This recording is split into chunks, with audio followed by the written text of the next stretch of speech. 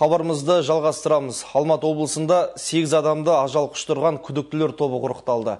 Ашылған атышулы қылмыстың бір осыдан 14 жыл бұрын жасалған екен. Өрімдей қос мұғалімді айуандықпен пышақтап кеткен қылмыскерлер ол тұста жасы небәрі 16-та болған екен.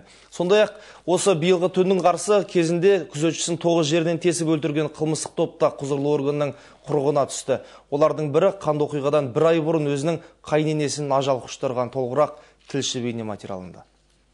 Алматы облысында аса ауыр үш бірдей қылмыстың бет ашылды. Оның бірі осыдан 14 жыл бұрын жасалған. Мектептің екі бірдей мұғалімін пышақтап өлтірген 10 сынып оқушысы таяуда тағы бір қылмыспен құрықталды. Бұл жолы ол өзінің үш бірдей туысын бауыздап тастаған яғни күдіктінің қазір жасы отыздан асқан сол тұста туыстары оқушы қылмыскерді айыр қалпақты ағайынның еліне атандырып жіберіпті. Артынша із түзсіз жоғалды деп полицияға өтініш қалдырған. Содан бері полиция қадағалауда ұстағанымен қашып кеткен қадырқұловтан хабар болмапты. Тек таяуда ол тағы бір қылмыспен құрықталғанда ол өзінің 1998 жылы тағы екі мұғалімді өлтіргенін өзі айтып мойындаған.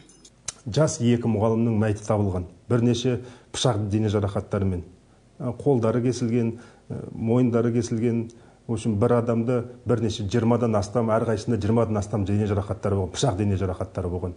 Бұл жамбыл ауданында ашылған атышулы қылмыстың біреуі ғана полиция жақында қолын қайтара қанға малған тағы бір күдікті топты ұрықтапты ескі жылдың соңғы жаңа жылдың алғашқы күні қарғалы ауылында елуден асқан күзетші азаматты әлдекімдер өлтіріп кеткен болатын. Артынан белгілі болғандай күдікті топ жаңа жылдық кешті жалғастыру мақсатында дүкенге ішімдік алуға келіп жабық болғасын тонауға кіріскен. Есіктерін бұзып жатқан дыбыстан секем алған күзетші қос қылмыскердің қолынан оқиға оқиға орнында жан тапсырыпты. Біреуінің қолында балға болған біреуінің қолында строительный гвоздер. Сол гвоздермен екеуі соны жабылып ұрған. Ана кісінің басынан ұрған основном дене жарақатының бәрі басына тиген. Жазықсыз азаматты балғалап құрылыс құралымен тескілеп өлтірген қандықол қарақшылар. Қатыгез қос күдіктінің бірі өзбекстан азаматы екіншісі өзіміздің оңтүстік өңірден екен. Кейінгісі қанды оқиға бір ай бұрын өзінің қайын де ажал құштырғанын мойындады. Амызға түсіп сол екеумізді ажыратпақшы болған дейді. Азғырып екеумізді азғырып сол менің екеумізді семьямызды бұзып азыр, не ажыратпақшы болған. Сол сол себептен мен оны барып өлтірдім деп сөйтіп айтып отыр. Қазір үш қылмыстық іске қатысы бар мойындарында сегіз адамның қаны бар. Күдіктілер уақытша қамау изоляторында тергеу біткен соң олардың ісі сотқа жөнелтіледі. Кінәлары толық дәлелденсе сегіз жылдан жиырма бес жылға дейін бас бостандығынан айырылуы мүмкін. Ирина советжанқызы думан сүлейменов алмас бестембеков информбюро отыз бірінші арна алматы облысынан. Ал Алматыда Алғабас ықшам ауданының тұрғындары баспанамызды басқа емес соқырлар төрағасы тартып алды деп бас көтерді. Наразы топ ескі жатақхананы жермен бірге екі рет сатып жіберген қоғамдық бірлестік жетекшісін жеп қоярдай ашулы. Өйткені сот шешім бойынша 700-ге жуық отбасы босатып беруі тиіс. Бара жер басар тауымы жоқ деп улап шулаған жұрт енді жоғарыға шағымдануды ұйғарыпты ескі жатақхананың аядай бөлмесін паналап жүрген жұрттан бүгінде маза қашқан күн сайын соқырлар қоғамының өкілдері келіп баспананы босатыңдар деп қоқан лоқы көрсетеді екен. Алайда наразы топ жерде де жатақхананы да заңды түрде сатып алғандарын айтып ашынады. Талғат деген кісі бар осы птп костың қазір представителімін деп жүр. Сол өтірік басқа бір адамдарды жалдап мына жерге кәдімгі бандиттар сияқты адамдар келіп бізді кәдімгідей бізді бас салып біз тарпалысып кәдімгідей айқасқанбыз осы жерде. Жұрт осы костан яғни қазақ соқырлар қоғамынан осыдан 10 жыл бұрын алғабастағы ескі жатақхананы жекешелендірген. Бірлестіктің сол кездегі төрағасы нышанбек омаровқа жетпіс отбасы баспана мен жер үшін екі жарым миллион теңге санап бердік деп отыр. Жетпіс семьядай тұрғанда әр семьяда бес алты он адамнан тұрады. Біз 2001 2002де соқырлардың мына птп кос несімен бізге сатқан соң бәріміз біз сатып алғанбыз бұл жерді. Ол кезде бізге бәрін заңдастырып береміз бәрі заңды түрде болады.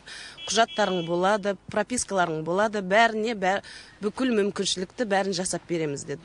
Алайда тұрғындарға жатақхананы сатып жіберген соқырлар қоғамының басшысы белгісіз себептермен жұмыстан кетіп орнына өкіл қызметін атқарған баймолда әубәкіров келеді. Жұрттың айтуынша жаңа жетекші алғабастағы жер телімін белгісіз біреуге екінші рет сатып жіберген. Қолында заңды құжаттары бар жаңа қожайын енді тұрғындардың жатақхананы босатуын сұрап күн көрсетпейтін көрінеді. Сосын алған кісі болды бізде сол апаның үйіне кіріп үлкен шал кісіні сүйреп далаға шығарып апа инвалид кісі екі шетінен көтеріп сүйреп шығады ашынған халықтың арызын тыңдаған соқырлар қоғамының басшысы жер заң бойынша сатылған деп отыр. Құжатымыз түгел соттың шешімімен тұрғындар жатақхананы босатуы тиіс дегеннен танбайды. Олар өздеріне өздері соны алып баяғы біз ә, заңды түрде біздікі деп бермей жүр бермей қойғаннан кейін біз дауластық дауластық соттастық одан кейін о, біз астанадамыз олар ә, алматыда ә, үлкен одан кейін біз алдық та ол жерді сатып жібердік қазір олардың жердің меншігі басқа біреулер.